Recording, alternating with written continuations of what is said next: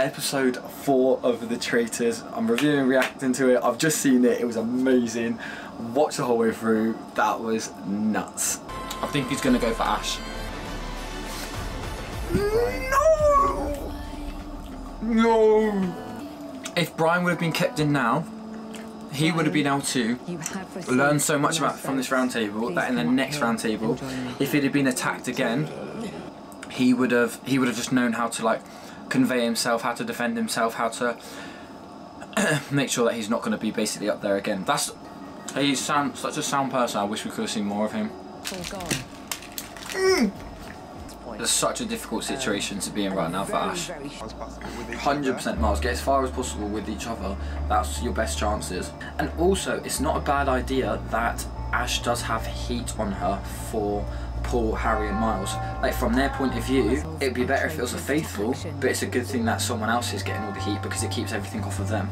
Oh, awkward, awkward, awkward, awkward, awkward, awkward.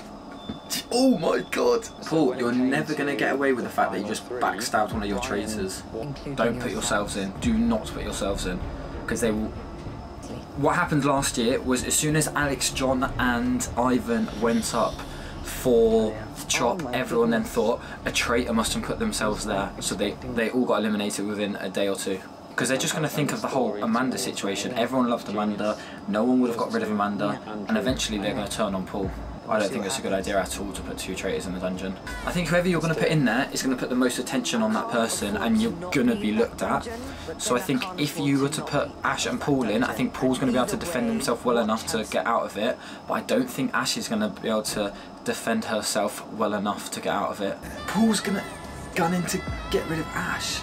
He's so smart, he's good at it. He's a bit of an ass, but he's good at it. And he's just completely got himself out of that situation as well with Ash. Zach is a boy. He's so smart. I said this in the last video. He is switched on. He's going to get murdered, I reckon, because he's way too switched on. He's had it. But one thing Paul can do really well now is get Andrew and Meg as super strong allies on their team. On his team, sorry. Zach, man, he's he's just analysing things, but without putting his emotions into it. I didn't bring up to be sneaky. I am Team Zach right now, just because he's smart, but I do think he will get murdered the way he's going. But then I think he's also been very smart about it and saying, I don't think, I don't know if it is or isn't Paul, but I think it's a character that is like Paul. Oh, I want to do challenges again. I miss doing challenges. The scales. We basically have You to, have to win. to save Paul. But the way he's talking, they haven't won. Ah! Run! Sprint! Why are you going so slow? Multiple people at the same time. Multiple people at the same time. Just sprint, man. I think it's going to be between Andrew and Paul. But then technically, that means if you're only getting murdered, Paul's not going to get murdered, Ash won't get murdered, so it has to be Meg that gets murdered now. So now Paul has to get Ash out because if he doesn't get Ash out, it just confirms that they're both traitors. I thought it Oh my god, this so plan we've had to change has the plan in backfired so much. However, if you go for Meg, then the two traitors oh are going to be left. They can't murder each other, so they'll know that they're both traitors, so then they'll be both gone as well. He is good though, I genuinely do think it'll get to the round table and he will somehow, he'll just somehow swayed it his way. There's 20 minutes left of this round table, so this means that this is going to be a big round table. What did I say earlier? Get two or three faithfuls around you that will back you through and through. Because they will sway people. So like for me personally, Ash. He's gonna go. conversation. He's gone straight back into Ash.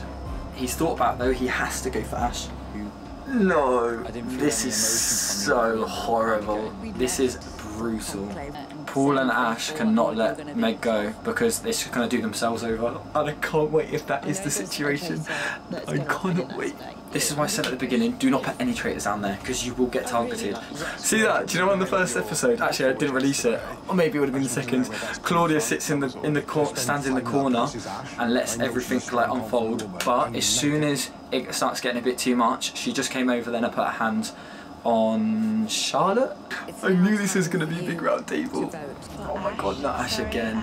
If they do get rid of Ash now though, it will protect Paul.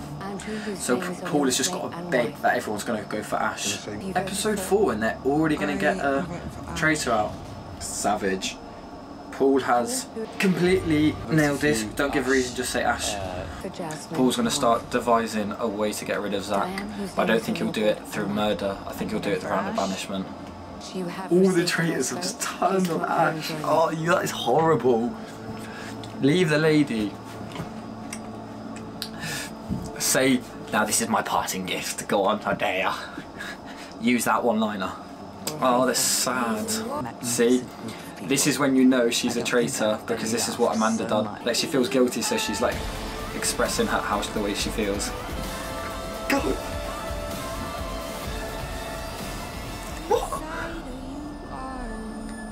Oh, come on, man. Guys, that is episode four of The Traitors. Review, reaction, that was an amazing episode. Like and subscribe and become my 400, no, 500th maybe? 500 subscriber now. Oh, 599! Oh my god, be my 600 subscriber. Let's go.